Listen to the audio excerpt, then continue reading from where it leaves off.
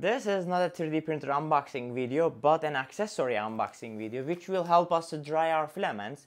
And this thing is modular, so you can do four spools and uh, attach and detach, assemble, disassemble. And this thing is from Chitu Systems FilaPartner E1. Let's take it off.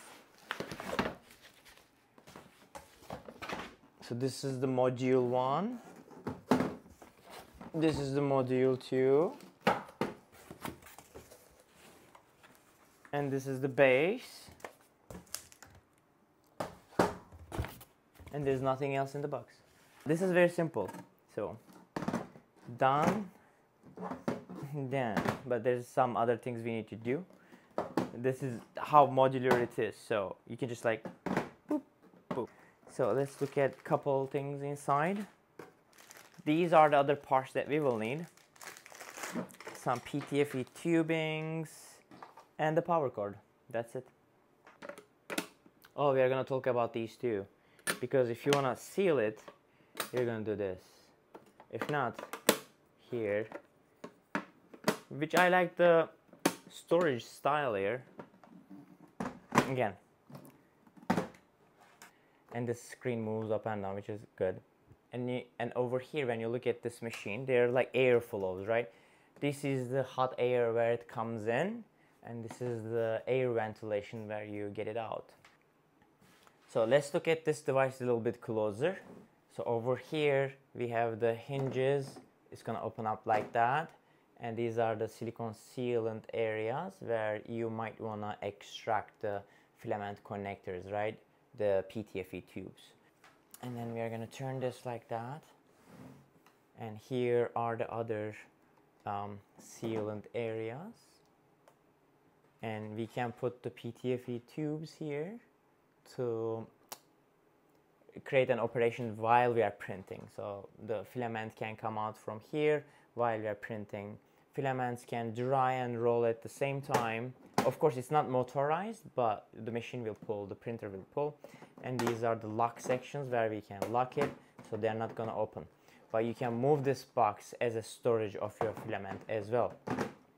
So I'm gonna open these up right now and look inside. So inside of this, um, we need to remove these uh, tapes, obviously.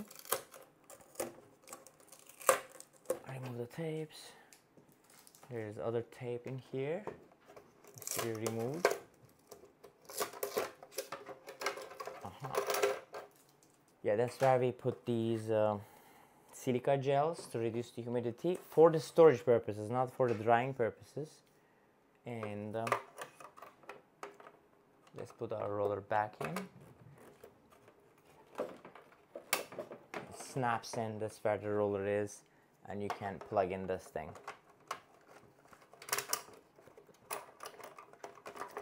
Sorry, I think you plug in it first and then you do the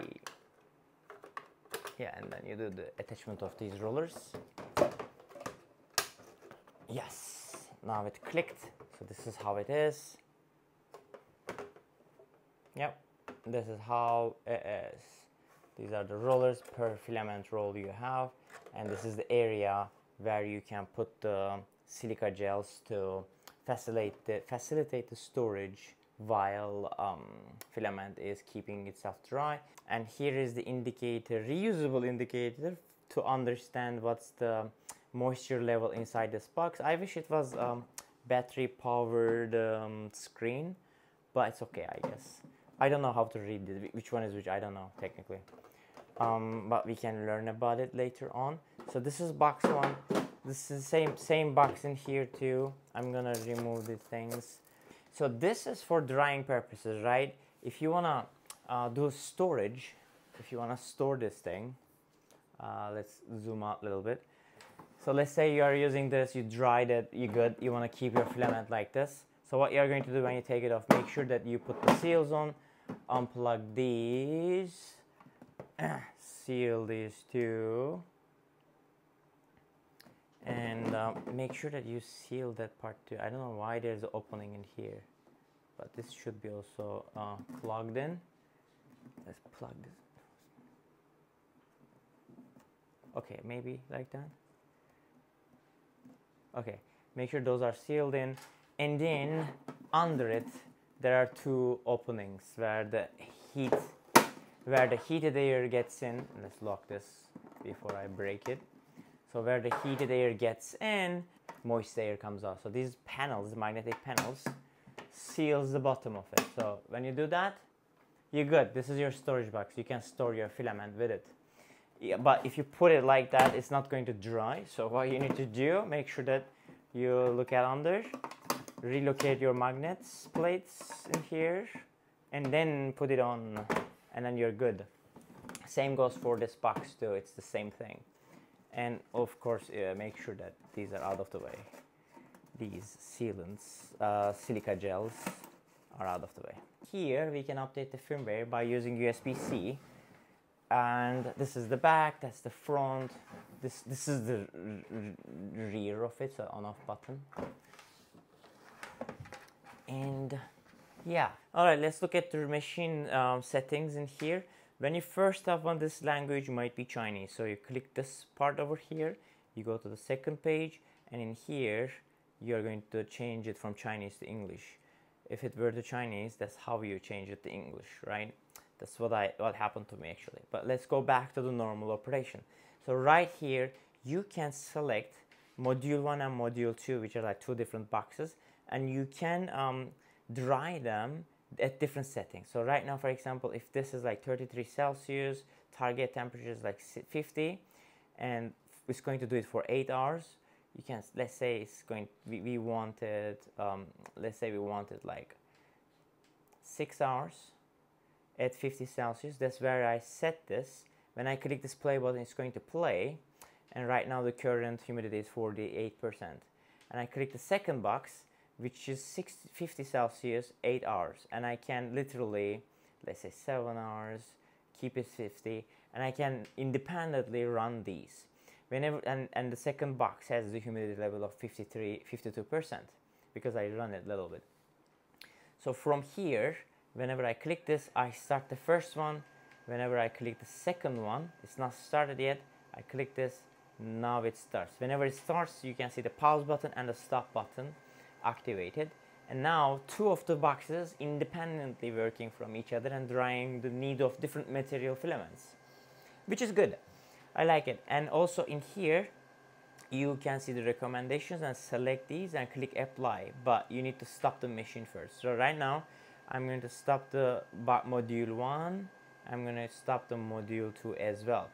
So once it's stopped you can see the clocks are set back for each of them. So right now I can go here and click this one for example and apply it to both of the modules as the recommended setting or click 60 apply it see it's already loaded up in there and I can do that uh, by just doing that by just uh, selecting this pre-recommendation settings, which is good, but you need to be not running the machine.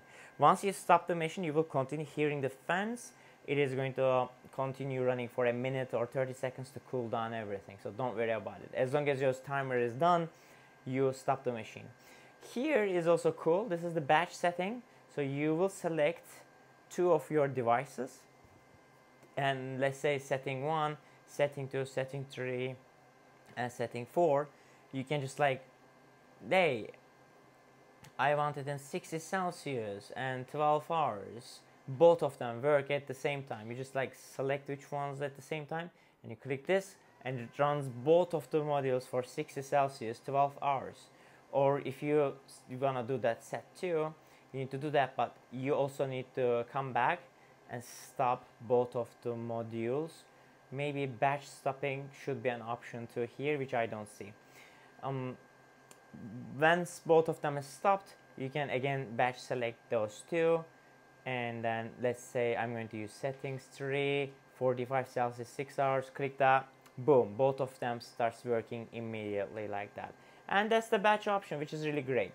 And when you come to the settings you can change it to Fahrenheit or Celsius. For my American friends it's Fahrenheit. For my European friends it's Celsius.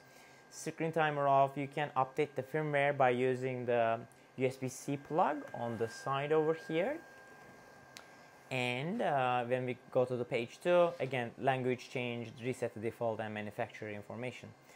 Intelligent control is also an option. You can click the automatic drying so whenever the humidity goes above some level it will start automatic drying and it explains in here how it works. And close this. Silent mode. Right now you can hear fan probably. Silent mode just like drops the fan speed and a little bit silent and that again explains the definition in here. I don't think I need the silent mode. And the other one is filament box identification which is basically you can keep it on. Uh, when you remove the box it will stop the operation as far as I know. let's say it's on right now right? And both of my systems are working one and two. And now I'm going to remove one of the boxes. It should stop automatically aha this is the filament detection uh, automatic detection system. Drying has been terminated automatically terminates it which was the first one I removed. And if I were to not have this intelligent control here it wouldn't stop. That's why I'm gonna keep it. And in in here literally I can feel the in here I can feel the hot water. This is very sucking the air in. Let's put this one back on it's not gonna tell anything I guess yep the first one is still stopped and I can run this back on Alright, up until this moment I show you guys how this filament box uh, is assembled, what are the features, the mechanical integration and everything, and the flow of the air and everything. So you can literally feel that hot air is getting in like a hair dryer, which is really nice. And once you stop everything, within a minute it stops down. So now I'm going to put some filament rolls in here and dry them. Alright, this is a moist filament that I printed a Benchy with. Um, look at this one. It's pretty much brittle and didn't do well, okay? Now we are going to dry this filament with our machine. It's this filament over here. It's this filament over here. It's a wood PLA as well. And we're going to dry that and then print this again. Now let's get this thing in action. We're gonna open this one up open this one up. Just make sure this doesn't fall. It's kind of unbalanced. I'm gonna put my wood filament here. Another filament here. Another filament. These are like silk filaments and these are all like have some uh, humidifying issues but we're gonna focus on this filament which we just printed the benchy with. That was ugly. Now we are going to do that again. Let's close this. Let's close that. Lock them.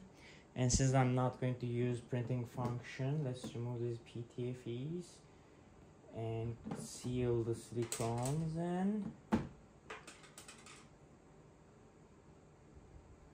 click here uh, PLA pitchy apply? Click here oh, we're already in here. Let's go to the second one too where PLA page apply. They're all applied at the same time and I click run. That's it very fast running. Now it is uh, running for four next four hours to change the humidity in there. So current uh, box humidity is 50% for almost two of them and we are going to see how the filament is going to react once it is dried and we are going to try that print again now I will now I will just wait four hours maybe 8 I might increase it but we're gonna find out Let's talk about some test results. I used a wood filament that was like 6 years old. I'm not joking. It's a very very old one and very very moist one. So this is the very first print.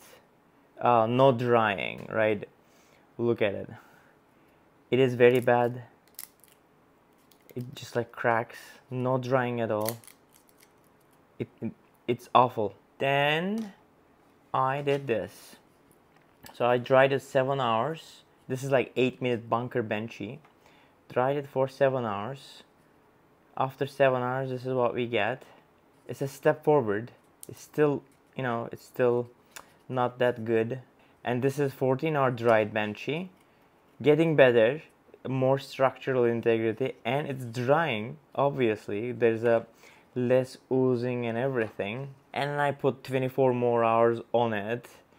And then I print it while I'm drying it. Look at this one. This is the solution. I believe this is the pushing the limit on this dryer. Look it doesn't budge. It's it's fixed my filament that was like six years oldish come back to life. And it works really good too. Literally it is not budging. Yeah so basically I came from this to this by drying this filament over uh, 30 hours I guess at this point. Uh, this was a 14 hour drying over 30 hours drying I got it done from this to this by using our modular Chitu Systems filament dryer and this is the wood filament that's like six years old or something like that so did I dry only wood filament? No, I dry silk filaments and normal PLA too. Results are mostly good. I didn't have any failures yet with my results and wood filament was the challenge and this thing surpassed it. So that is great. This is end of our video. I went through this Chitu Systems FilaPartner Filament Dryer machine. This is pretty modular as you guys can see throughout the video and I was a little bit maybe harsh with it in terms of the uh, structure and like putting it from uh, one place to another it's pretty decent it's pretty robust uh, and it is very modular too that's what I really like about this and you can add up more storage systems that are sold separately to this system. And as you guys can see there are like two systems here and it can be independently run. So simply this is like there's independent chamber one independent chamber two. You can set different temperatures you can run them separately and you can uh, satisfy the needs of different materials. And you can increase number of these so you can store them. There's a um, sealing box sealing system under them too so you can seal them right? We went through all this. It's easy to update the firmware. And these chamber systems are really good. So overall I like this. I tested it. You guys see the results especially for my wood filament. After six years long not using that filament and drying it uh, that was pretty impressive. I wasn't sure if it's going to work or not but it worked to be honest with you. That's why I shoved it in here. So that is a win for me so I can make use of the wood PLA I guess this is a pretty straightforward product and it works really nice. So it is for sale in Amazon and in their website to around $139. It's not cheap, but it's not too expensive, crazy expensive either. Uh, that's why it's a great balance, I guess, in terms of the product. I have been harsh with it, as you guys see in the video. So far, so good. It works. Uh, it's a pretty decent storage system and robust. Would I buy this filament drying system? Yes. It's a very useful accessory. And I think it's going to be really nice to uh, dry carbon fiber filaments, carbon fiber reinforced filaments too. So we are going to test those too in the short form videos probably, so stay tuned. I'm putting the links down below if you guys would like to purchase. They are going to be from Amazon and Chitu Systems website.